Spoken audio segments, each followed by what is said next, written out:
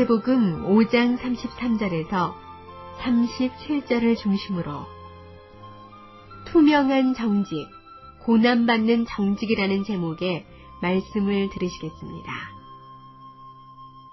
먼저 제가 본문을 읽어드리겠습니다. 또 옛사람에게 말한 바, 헛맹세를 하지 말고 내 맹세한 것을 죽게 지키라 하였다는 것을 너희가 들었으나 나는 너희에게 이르노니 도무지 맹세하지 말지니 하늘로도 말라.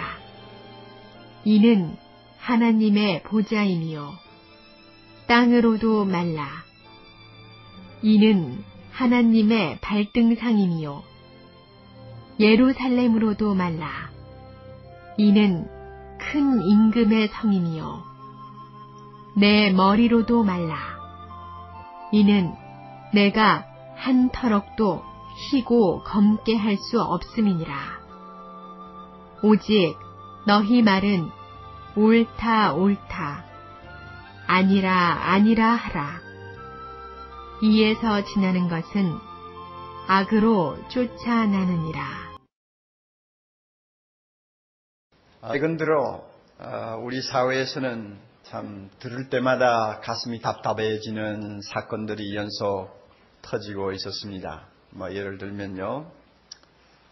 목사라는 사람이 교회 개척을 하기 위한 자금을 마련한다는 구실하에 뒷돈을 대주면서 그에게 채권을 위조해가지고 시장에 유통시키다가 구속을 당한 일이 있습니다. 기가 막히는 일이죠. 서울경찰청장이 학력을 날조했다가 3일 만에 옷을 벗는 참 웃지 못할 일들이 우리 눈앞에 벌어졌습니다. 또 요즘 항상 어, 요, 요즘 입시철이죠. 고교생들의 그 내신 성적이 참 중요한데 교사들이 잘못했는지 치맛바람이 너무 세서 그런지 내신 성적을 너무 부풀려 가지고 어느 학교의 내신 성적은 88%가 전부 엉터리라는 기록 어, 기사까지 나오는 것을 보았습니다. 이 모든 사건들이 다 일맥상통하는 공통점이 있습니다. 정직하지 못하다는 것입니다. 믿을 수가 없다는 것입니다. 심각한 문제가 아닐 수가 없습니다. 이 사회의 도덕적 기반이 무너져가고 있지 않나 하는 우려를 금치 못할 정도로 우리는 위기감을 느낍니다. 법을 집행하는 공직자가 또 다음 세대를 교육하는 교직자들이 그리고 이 사회의 양심이라고 할 수 있는 성직자들이 사람들로부터 믿을 수 없는 인격으로 의심을 받는다는 것은 정말 기가 막힌 현실이요. 이런 상황에서 이 나라의 미래가 과연 보일 수가 있는지, 우리에게 장래가 있는지 의심을 하지 아니할 수가 없습니다. 며칠 전에 좀 가까운 몇 분들하고 조용히 아름다운 교제를 나누는 시간이 있었습니다. 그때 어느 분이 자기 아들 이야기를 했습니다. 그 아들은 믿음도 좋습니다. 똑똑합니다. 한국에서 또 미국에서 상당한 또 교육을 받은 청년입니다. 우리나라에서 직장 생활 뭐 한 2, 3년 하더니 어느 날 갑자기 아버지를 찾아와서 이런 말을 하더랍니다. 아버지, 한국을 떠나고 싶어요. 유학을 가든지 어떤 방법으로 가든지 한국을 떠나고 싶습니다. 그 아버지는 제가 알기로는 상당한 애국자입니다. 너무 의아해서 아들에게 물었답니다. 왜 그러냐? 그랬더니 아들의 대답이 아버지, 이 나라에 앞이 보이지를 않습니다. 이 나라에 앞이 보이지를 않습니다. 그 말 한마디에는 수많은 젊은이들의 탄식과 좌절이 들어있다는 것을 우리는 느낄 수 있습니다. 젊은이들의 눈에 나라 꼴이 앞이 보이지 않게 되었다면 이 책임을 누가 져야 할 것이냐? 교회가 이 책임을 벗을 수 있습니까? 교회 지도자가 이 책임을 벗고 손을 털 수 있을까요?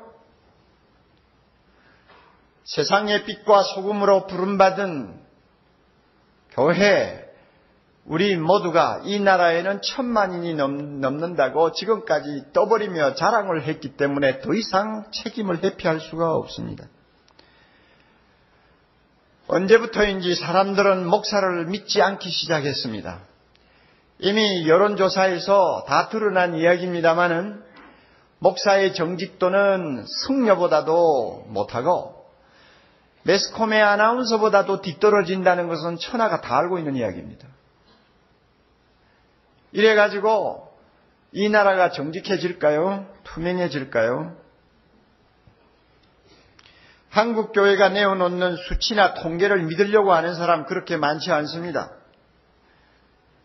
세상의 빛이라고 하는 교회가 이렇게 어두우니 나라가 어떻게 앞이 보이겠습니까? 그렇지 않겠어요? 이런 설교를 해야 되는 저 자신도 지구멍이 있으면 차라리 들어가서 숨고 싶은 생각이에요.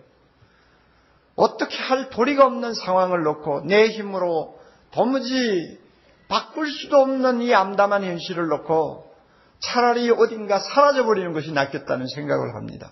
이만큼 우리나라가 지금 도덕적으로 어렵습니다. 우리 모두 긍정해야 합니다.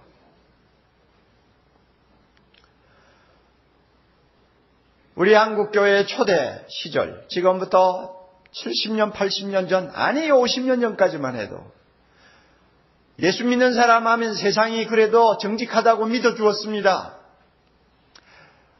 왕도둑놈 같은 양심 없는 사람이라도 예수 믿으면 정직한 사람이 된다고 천하가 다 인정했습니다.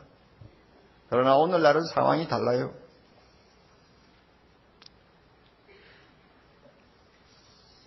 어쩌다가 유별나게 정직한 사람이 보입니다. 나는 예수 믿는 사람이에요. 나는 손해를 보고 욕을 먹어도 절대 거짓말 못하겠습니다 하고 버티는 사람이 어쩌다가 있어요. 그러면 주변 사람들이 놀랍니다. 또 마음으로 감동을 받습니다. 그리고 수근수근 하는 말이 있어요.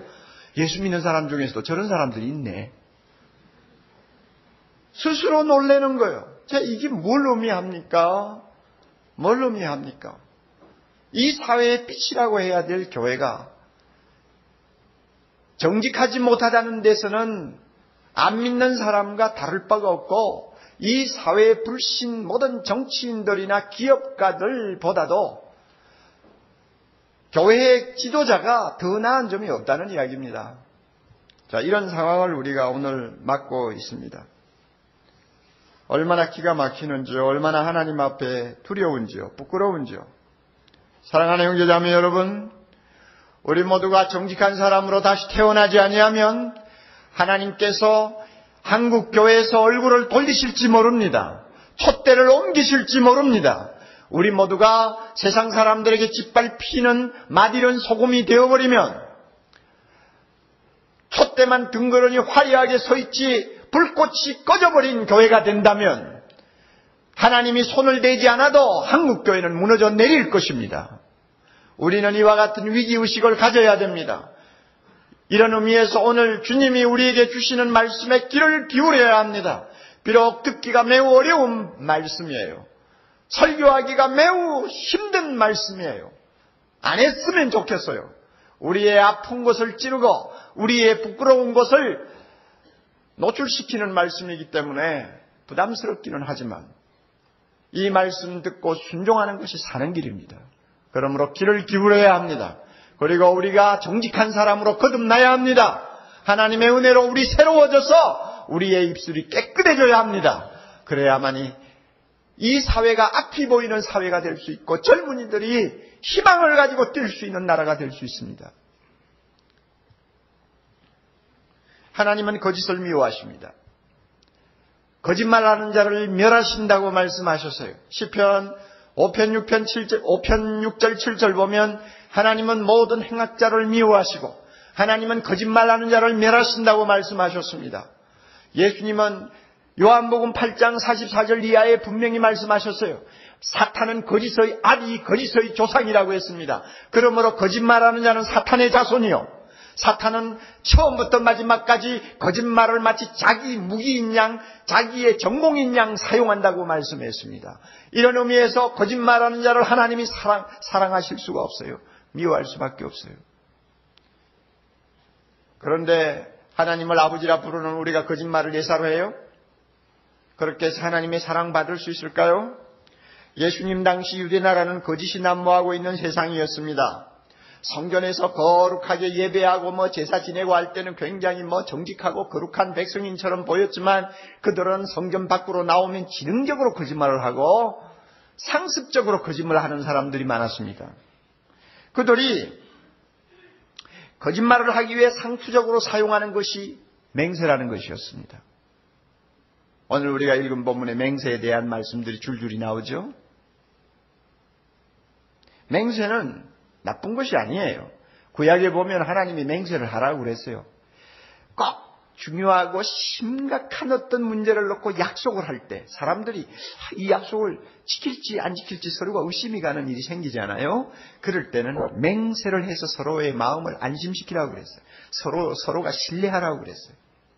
그리고 어떤 문제를 놓고 내가 오르냐 내가 오르냐 하는 것을 다투어야 되는 어려운 분쟁이 생길 때는 맹세를 통해서 그 분쟁을 잠재우고 서로를 신뢰하도록 하셨어요.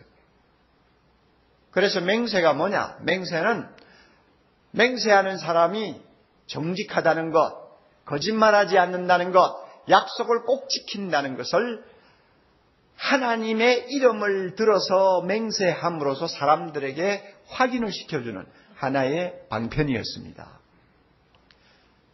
하나님께서도 마음의 의심 반, 어, 뭐 우려 반 하고 있는 아브라함을 저녁에 데리고 나가서 하늘에 있는 별을 가르치면서 아브라함아 하늘 좀 봐라. 하늘의 별 셀 수 있느냐? 너 못 세지? 내가 너의 후손을 이처럼 많게 하겠다 하고 약속하실 때 사람이 보기에는 참 구름 잡는 이야기죠. 그러니까 아브라함이 잘 믿지 못할까 싶어서 하나님이 자기보다 높은 자가 없잖아요. 그러니까 자기 이름을 걸어서 아브라함에게 맹세를 하셨어요. 내 이름을 걸고 맹세하노니 내 말대로 너 자손이 하늘의 별처럼 많게 하리라. 하나님이 맹세하는 말씀을 듣고 아브라함이 믿었어요. 아브라함 하나님의 맹세를 들었어요. 이렇게 맹세는 좋은 것입니다. 그러나 하나님께서 몇 가지 조건을 걸었습니다. 맹세할 때에는 꼭 여호와 하나님의 이름으로 맹세하라. 그리고 여호와의 하나님 이름으로 맹세할 때는 반드시 지켜라. 안 지키면 내가 그 대신 책임을 묻겠다고 말씀합니다. 그리고 맹세할 때는 망령되이 맹세하면 안 되고 헛되이 맹세하면 안 되고 일상생활에서 함부로 습관적으로 맹세하면 안 된다고 했습니다. 그리고 맹세할 때는 하나님 외에 다른 이름을 사용하면 안 된다고 분명히 조건을 달았습니다.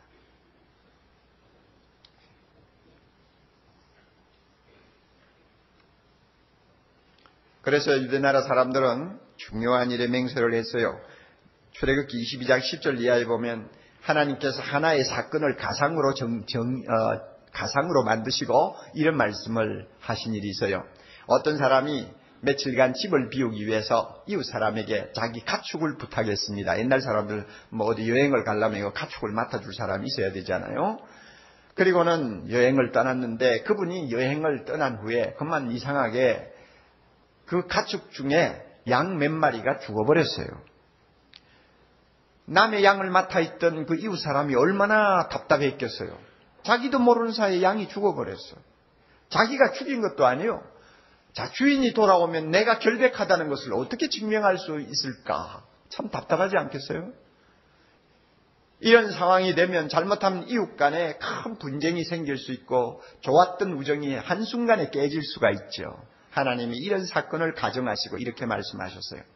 양을 맡아 있던 이웃이 정말로 그 양을 자기가 죽이지 않았다는 것이 확실하면 이렇게 해라. 주인 앞에서 여호와 하나님의 이름을 들어 내가 맹세합니다. 나는 절대로 양을 죽이지 않았습니다. 하고 맹세하라 그랬어요. 그러면 그 맹세를 듣는 주인은 반드시 그 말을 그대로 믿으라고 했습니다. 하나님의 이름을 걸고 맹세하는 거 의심하면 안 된다는 거예요. 그리고 배상 청구를 하면 안 된다고 하나님께서 명령하셨어요. 이만큼 맹세라는 것은 좋게 이용할 때는 서로 서로끼리 신뢰할 수 있고 서로끼리 약속을 지키게 하는데 순 기능을 가지고 있었습니다. 그러나 예수님 당시 사람들은 이런 맹세를 이제 악용하기 시작한 것입니다.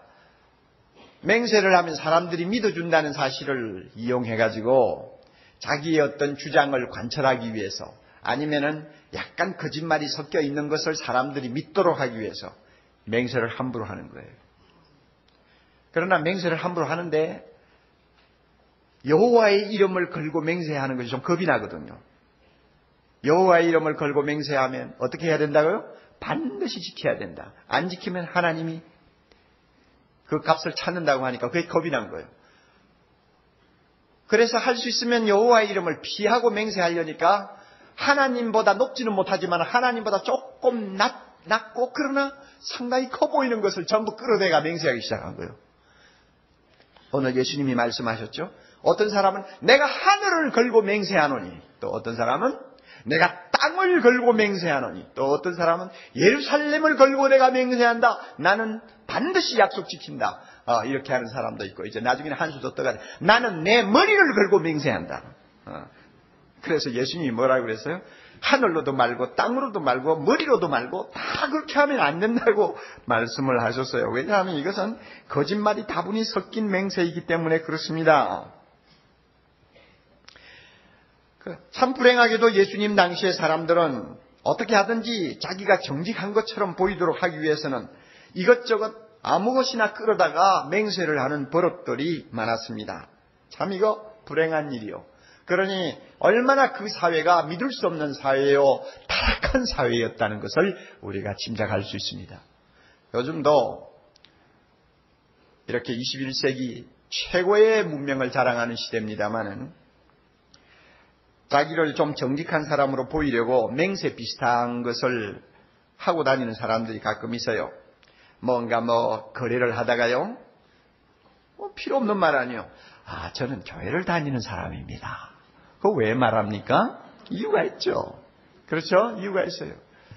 그리고 어떤 분은 한 수 뒀다가 저는 사랑의 교회 집사입니다. 뭐 이런. 또 뭐 옷 로비 사건이 한참 세상을 떠들썩할 때 보니까 성경에 손을 얹고 내가 맹세한다 뭐 이런 소리를 하는 사람도 있더라고요. 그게 뭐냐면 현대판 맹세입니다. 자기가 거짓말 안 한다는 것, 자기는 믿을 수 있는 사람이라는 것을 상대방에게 어떻게 하든지 좀 과장해서 보이려고 하는 그 속마음이 그 속에 있어요. 지금도 생각하면 얼굴이 화끈하는데요. 20년 전쯤 됩니다. 그 당시에는 고속도로가 활짝 열려 있었지 않습니까? 제가 타고 다니는 작은 차라도 고속도로에 올라가면 걸리는 게 없고 차가 별로 없으니까 뭐 부산까지 왔다 갔다 하는 거 별 문제가 없었어요. 한 번은 부산에서 차를 몰고 올라옵니다. 추풍령을 지나서 터널을 이제 통과하고는 내리막길이에요. 아, 뭐 내리막길인데 뭐 앞에 차 몇 대 갑니다만은 뭐 신경 쓸 거 없고요. 신나지 않아요? 차가 뭐 막 속도를 냅니다. 게다가 페달 좀 밟으면은 뭐 싹 갑니다. 그때 또 스트레스 풀잖아요.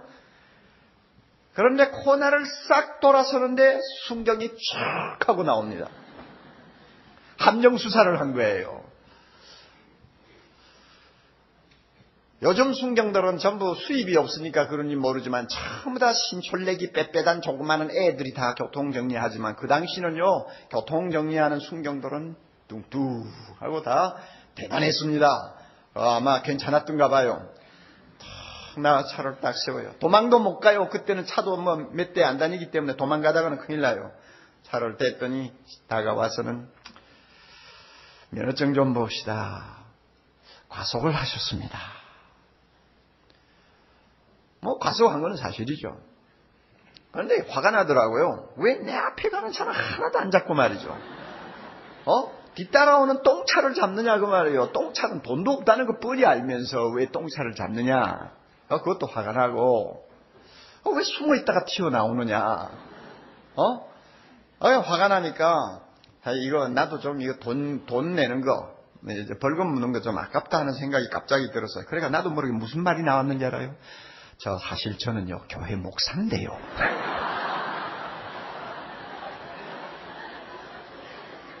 여러분 한번 생각해 보세요. 거기에 교회 목사라는 게 무슨 소용이 있어요? 그런데 저도 모르게 교회 목사인데 어떻게 과속을 했겠습니까? 그러니까 봐달라는 이야기죠. 믿어달라는 이야기죠. 이게 내 밑바닥, 말 밑바닥에 깔려 있는 거예요. 그러니까 이게 일종의 맹세죠. 자, 그 말하면, 아, 그렇습니까? 예, 가십시오. 하면은 또 신이 날 텐데, 싱 절 쳐다보고 웃더니, 목사십니까? 그래요. 그러나 뭐 억울하시겠지만은, 우리 처지도 있으니까 좀 보태주고 가십시오. 목사님이니까 좀 동정 좀 하십시오. 한번 생각을 해보세요. 자, 제가 목사라고 밝힌 것은 제가 좀 정직하게 보이려고 밝혔는데 그 사람은 또 여기용 해가지고 목사니까 자기 동정 좀 하고 가래요. 이러니까 세상 요지경인 거예요. 제가 그때 생각만 해도 얼굴이 달아오르요. 그 다음부터는 어떤 상황에서도 내가 목사라는 거 절대 안 박힌다. 각오를 했어요. 어쨌든 옛날이나 지금이나 맹세 비슷한 그런 말들을 갖다 붙이고 부풀리는 그 밑바닥에는 항상 정직하지 못한 것이 숨어 있다는 것. 우리가 부인할 수가 없지 않습니까? 이런 이유로 예수님은 절대 맹세하지 말라고 명령하십니다. 34절에 나오죠.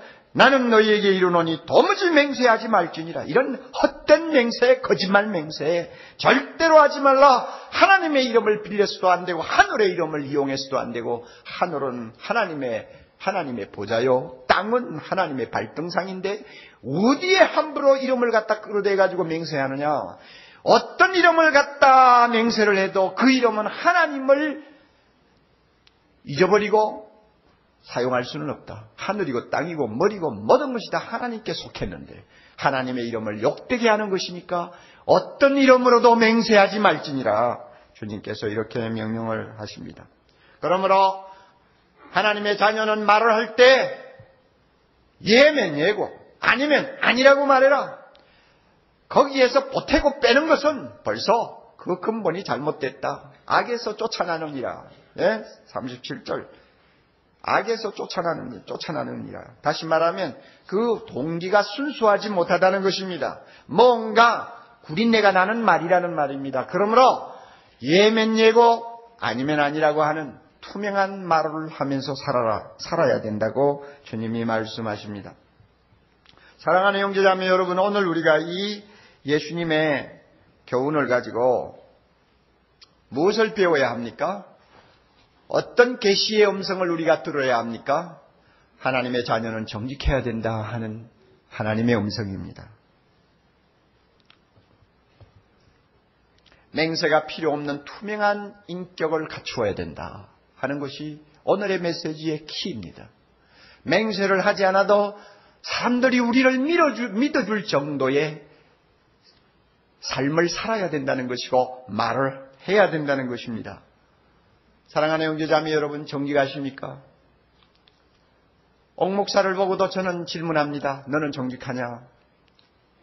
우리 모두가 각자를 놓고 얼마나 정직하냐 물어야 합니다.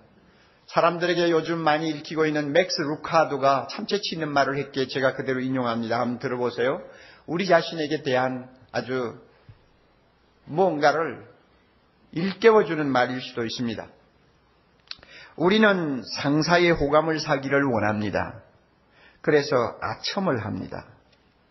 우리는 그것을 윤활유라고 부르지요. 그러나 하나님은 거짓말이라고 하십니다.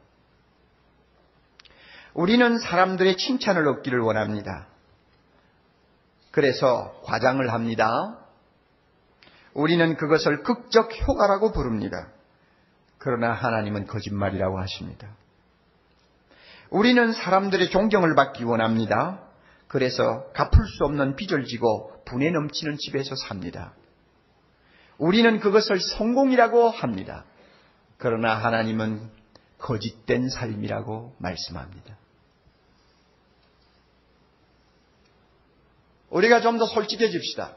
세상이 거짓되면 거짓될수록 정직하게 살기라는 것은 정말 어렵습니다. 나 혼자 정직하려다가 자주 쏘가버립니다. 나중에는 손해를 봅니다. 그러다가 보면 정직할 수 없다는 생각을 합니다. 그래서 자기도 은근히 적당하게 세상 사람처럼 말하고 세상 사람처럼 행동하게 됩니다. 그러면 내가 그렇게 말하고 행동하니까 모든 사람을 같은 칼라로 봅니다. 다 그, 그렇게 말하고 그렇게 행동하는 사람으로 받아들이게 됩니다. 결국 나도 모르게 내 안에 하나의 고정관념이 생기는데 무엇입니까? 안 믿는 것이 상책이다. 어, 이런 고정관념이 내 마음에 꽉 자리를 잡아요. 그리고 어쩔 수 없어서 꼭 믿어주어야 할 상황이 되면 속문 셈치고 믿어주자 하는 선심성 신뢰로 땜질을 해버립니다. 그러니까 다 의심하고 의심받는 거예요. 여러분 이와 같은 세상에서 예수님의 말씀대로 예면 예고 아니면 아니라고 하는 정직성 투명한 인격을 가지고 과연 살아남을 수 있을까? 우리 모두가 한번 생각을 안 할 수가 없어요. 정말 정직해가지고 세상 살아남을 수 있을까? 이미 잘 알려진 대로 서울대학의 박모 교수가 3만 명을 대상으로 해서 표본 조사를 한 거 우리가 알고 있잖아요. 기억하실 거예요. 거기에서 73% 이상 되는 사람들이 대답하기를 한국에서는 정직해가지고는 살 수가 없다. 이렇게 대답했어요. 그렇게 대답한 사람 가운데 10대, 20대가 다수를 이룬다고 하니 기가 막힌 이야기가 아니요. 이렇게 투명하지 못한 세상에서 나 혼자 정직하다고 살 수 있을까요? 다니엘 웹스터라고 하는 사람 말은 일리가 있어요. 이 세상에서 진실만큼 강한 것이 없다. 그러나 한편 진실만큼 이상한 것도 없다. 이상해요. 이러다 보니까 섹스피아의 희곡 오셀로에서 주문처럼 흘러나오는 말이 있어요. 오, 오, 기괴한 세상 조심하라. 오, 기괴한, 괴팍한, 참 이상한 세상 조심하라. 그 말이요. 이 세상 사람들이요, 정말 조심할지어다. 솔직하고 정직하다는 것은 안전한 것이 못 되느니라. 솔직하고 정직하다는 것은 안전한 것이 못 되느니라. 그러므로 안전하게 살고 싶으면 적당히 거짓말 해야 된다 하는 이야기입니다. 오히려 이런 말이 예수님의 교훈보다도 더 우리 마음에 와 닿는 이유가 있어요. 너무나 세상이 거짓되기 때문에 그렇습니다.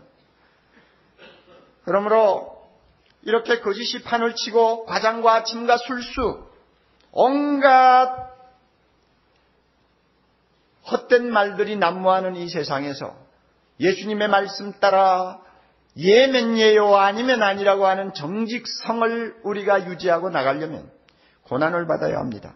안전한 데가 없어요. 손해를 보아야 합니다. 어떤 때는 오해를 받고 어떤 때는 왕따를 당해야 합니다. 그렇지 않고는 절대 정직하지 못합니다. 일랜드 그룹의 어, 그 사훈이 뭔지 아세요? 초창기부터 지금까지 고집스럽게 붙들고 있는 사훈이 뭔지 알아요? 일랜드에. 절대 정직입니다. 차라리 절대가 없으면 좋겠는데. 정직에다가 절대까지 붙여놨으니 이거는 요지부동이요. 자, 그것 때문에 그동안 회사가 당한 고충을 여러분이 다 모릅니다. 심지어 그 회사에 다니는 믿음 좋은 젊은이들까지도 나중에는 비판하는 것 들었어요. 세상에 이렇게 악한 세상 거짓말 안 하면 도무지 거짓말로 둘러대지 아니하면 통하지 않는 이 세상에서 절대 정직 가지고 어떻게 기업합니까? 너무 이상론입니다. 나는 도무지 배겨낼 재간이 없습니다 하고 떠나는 사람 한두 명 봤어요. 이 절대 정직을 고수하려다가 그동안 손해를 본 것이 얼마나 많습니까? 세무사찰을 당한 일이 한두 번입니까? 정직하려고 하는데 그걸 의심받는 세상이니 기가 막히는 일 아니요. 고난을 당하는 것입니다. 사랑하는 형제자매 여러분, 그럼에도 불구하고, 그럼에도 불구하고 예수님은 우리를 향해서 정직하라고 합니다. 정직해야 된다고 합니다. 왜 그런지 아세요? 몇 가지 이유가 있습니다. 첫째는 우리는 예수님을 따르는 제자이기 때문에 그렇습니다. 예수님은 세상에 계실 때 거짓말 하시지 않았어요. 이사야 53장 9절에 보면 그는 범죄하거나 거짓말 하시지 않았다고 했습니다. 그는 말을 부풀리는 법이 없었어요. 진실을 왜곡하는 법이 한 번도 없었습니다. 그러므로 오늘 말씀합니다. 내가 너희에게 이르노니 내가 너희에게 이르노니 어떤 맹세라도 하지 말라. 거짓말하지 말라 하는 이야기입니다. 우리가 예수님을 따라가기를 원합니까? 그러면 고난을 당하는 한이 있더라도 십자가를 지는 한이 있더라도 예수님처럼 정직해야 합니다. 카터 대통령을 아시죠? 그는 1976년인가요? 워터게이트 사건으로 닉슨이 너무 거짓말을 하니까 거기에 넌더리가 난 국민 앞에 이렇게 선거 공약을 내세웠습니다. 나는 절대로 거짓말하지 않겠습니다. 그의 정직성에 호감을 가진 사람들이 그, 그에게 표를 던져주어 가지고 대통령이 되었습니다. 그는 약속대로 정직한 도덕 정치를 펴려고 무척 애를 썼습니다. 그러다가 나중에는 그것 때문에 무능한 대통령이라는 낙인이 찍혔습니다. 아마 정직을 내세워서 대통령이 될 사람은 미국 역사에 다시는 없을 것입니다. 안 되지 않아요. 정치판에서 정직이 어디 통합니까? 결국 80년도에 레이건하고 이제 대통령 경쟁을 하다가 결국은 카터가 패배했습니다. 패배를 시인하는 연설문에 이런 말이 있습니다. 카터가 이제 연설을 하는데요. 묘한 말이 있어요. 여러분, 나는 절대로 거짓말을 하지 않겠다고 여러분에게 약속했습니다. 그것 때문에 내가 다시는 대통령의 자리에 설 수 없게 되었지만, 괜찮다고 말하지는 못하겠군요. 하고는 쓸쓸히 웃었습니다. 무슨 말이냐? 정직한 대통령 되겠다고 했는데, 그리고 거짓말 하지 않겠다고 했는데, 그대로 지금까지 정치하려고 무척 애를 썼다. 그러다 보니 국민들의 인기를 잃어버리고, 이번엔 낙선을 했단 말입니다. 자, 대통령 선거에서 패배한 사람의 심정을 우리가 다 모르잖아요. 막 가슴이 찢어지고, 뭐 어떤 때는 막 후회가 되고, 뭐 괴롭고, 슬프고 그러지 않겠어요. 그 감정을 이 연설에서 그대로 표현하면 솔직하니까 좋지요. 그렇죠? 그런데 그것도 체면이 있잖아요. 자기 감정을 다 말할 수가 없어요. 그래서 아 나는 괜찮습니다. 이제 새로운 대통령을 적극적으로 협조할 것입니다. 그런 말을 했어야 되는데 그거 하면 또 거짓말이 되잖아요. 그러니까 하는 말이 괜찮다고 말하기는 어렵겠군요. 끝까지 거짓말 안 하겠다는 의지가 보이는 한마디예요. 그는 대통령을, 대통령을 두고 나온 후에 미국 사람들뿐 아니라 전 세계적으로 가장 존경받는 전임 대통령으로 전임 대통령으로 헤비타트 운동 집 없는 사람 집 지어주는 일을 위해서 세계를 누비고 다니지 않아요. 대통령이 되지 못하든지 무능한 대통령이라는 욕을 먹든지 간에 예수의 제자가 되기를 원하는 사람은 정직해야 됩니다. 카트는 그렇게 살았어요. 우리도 그래야 합니다. 두째는 하나님이 정직한 자를 축복하시기 때문입니다. 여러분 이 가운데서 내가 진실을 말해야 할까, 진실을 말하지 말아야 할까를 놓고 고민하는 딜레마에 빠진 형제자매 있으면 이 시간 꼭 이 질문 하십시오. 거짓말하는 나를 하나님이 축복하실까? 거짓말을 미워하시는 하나님이 거짓말을 깔고 있는 나의 교회에게 축복하실까? 거짓말하는 자를 좋아하지 아니하시는 하나님이 거짓말로 남을 조종하는 내 직업을 하나님이 축복하실까? 여러분 꼭 질문하세요. 우리는 가까이 보면 안 됩니다. 멀리 보아야 합니다. 가까이 보면은 몇 마디 거짓말하는 것이 돈을 모으는 수단일 수도 있고 몇 마디 거짓말하면 성공도 할 수 있고 남, 남보다도 앞지를 수도 있겠죠. 그러나 멀리 보세요. 거짓말을 축복하지 아니하시는 하나님 반드시 보여주십니다. 오늘의 성공이 내일의 실패가 되게 하시고 오늘의 안전이 내일의 벼랑 끝이 되게 하시는 사례들을 우리는 많이 봅니다. 왜? 거짓을 하나님이 축복하지 않기 때문입니다. 거짓말로 부정한 방법으로 재산을 모았다가 그 재산이 자녀 손들을 영원히 일어서지 못하게 폐인으로 만드는 집안을 한두 건 봅니까? 하나님은 거짓말하는 자 축복하지 않습니다. 그러므로 우리는 진실을 말해야 합니다. 고난을 받아도 진실을 말해야 합니다. 세천은 우리가 진실해야 세상을 구원하고 변화시킬 수 있기 때문입니다. 여러분 한번 생각해 보세요. 우리는 그리스도의 복음, 생명의 진리를 전하기 위해 세상으로 보냄받은 증인들입니다. 복음을 전하고 진리를 전해야 될 우리가 투명하지 못하다. 정직을 의심받는다. 만약에 그렇게 되었을 때에 우리의 전하는 말을 누가 듣겠습니까? 누가 우리를 통해 구원을 받겠습니까? 누가 우리를 통해 예수님의 영광을 볼 수 있겠습니까? 우리가 투명하지 못한데 어떻게 세상 사람이 주의 영광을 볼 수 있습니까? 우리가 이 세상을 구원하려고 하는 하나님의 뜻을 마음에 두고 그 뜻을 이루어 드리기 위하여 한평생을 사는 사람이라면 예배 드릴 때마다 하늘에 계신 우리 아버지여 이름이 거룩히 여김을 받으시오며 나라의 임하옵시며 뜻이 하늘에서 이룬 것 같이 땅에서도 이루어지이다. 아버지여 나라와 권세와 영광이 아버지께 영원히 돌아가기를 원합니다. 이것이 우리의 비전이요 이것이 우리의 뜨거운 가슴이요 우리의 소원이라고 한다면 이 소원을 이루어 드려야 될 우리가 투명하지 못하다 정직하지 못하다 하면 이 세상이 어떻게 구원받을 수 있어요? 그러므로 우리는 고난을 당해도 정직해야 합니다. 왕따를 당해도 정직해야 합니다. 십자가를 져도 정직해야 합니다. 가난해져도 정직해져야 합니다. 출세를 못해도 정직해야 합니다. 하나님이 그럴 때 우리를 축복하심을 믿으시기를 바랍니다. 어느 분의 말입니다. 그분이 이렇게 말했어요. 당신은 진실을 말하십니까? 항상 그렇게 하십니까? 만일 그렇게 하지 못한다면 오늘부터 시작하십시오. 내일까지 기다리지 마십시오. 오늘의 물결이 내일의 파도를 이루고 명년의 홍수를 이룹니다. 오늘부터 시작하십시오. 예수님처럼 되십시오. 예수님처럼 진실을 말하고 오직 진실만을 말하십시오. 우리가 모두 이 말을 마음에 담아야 합니다. 새 사람을 입은 하나님의 자녀를 향하여 바울은 에베소 4장 25절에서 이렇게 교훈합니다. 그런저 거짓을 버리고 각각 이웃으로 더불어 참말을 하라. 우리는 진실해야 합니다. 정직해야 합니다.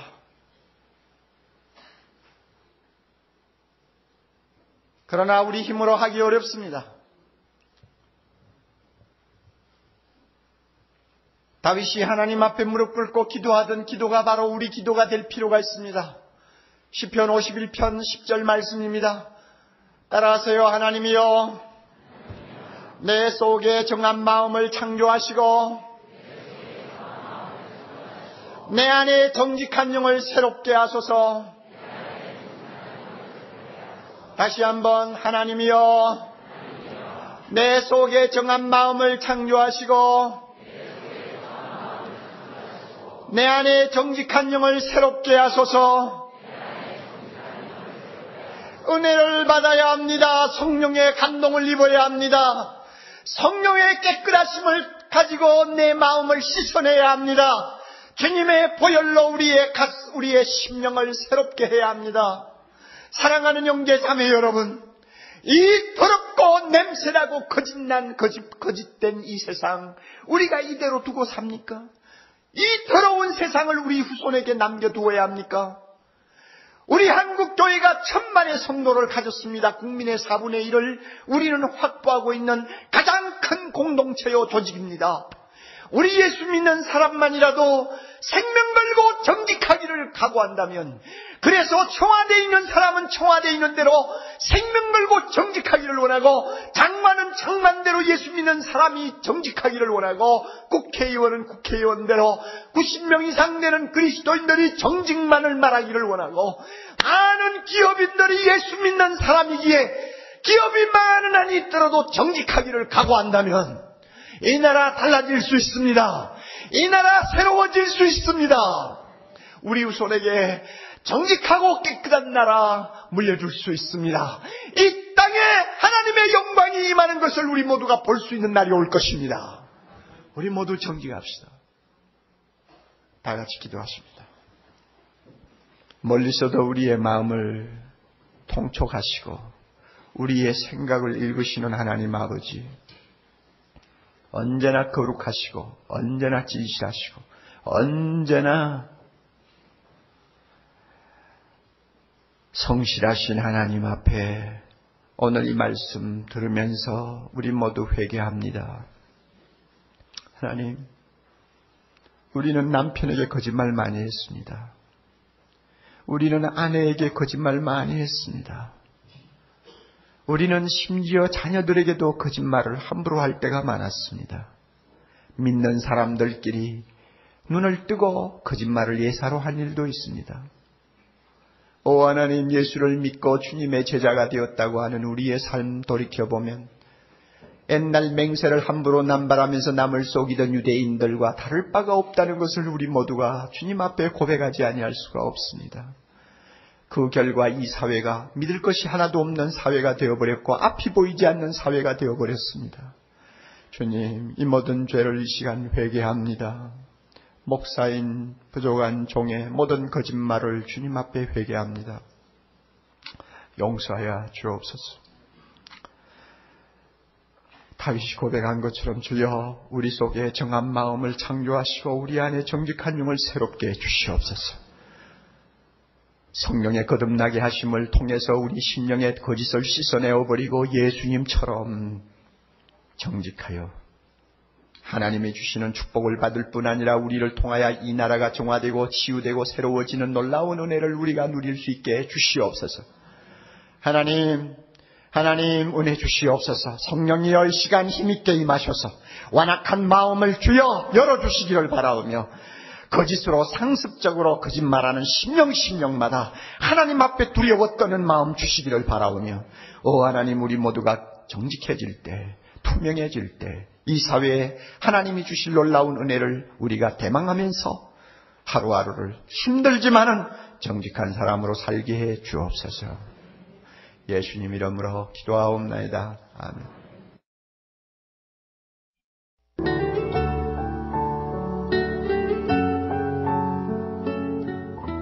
생명의 샘은 출판과 테이프, 영상, 인터넷 등의 가능한 모든 매체를 통해 생수와 같은 은혜의 말씀을 나누는 사랑의 교회 미디어 선교 사역입니다.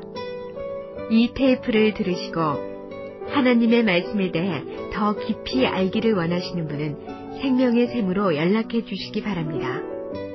여러분을 성심껏 도와드리겠습니다. 감사합니다.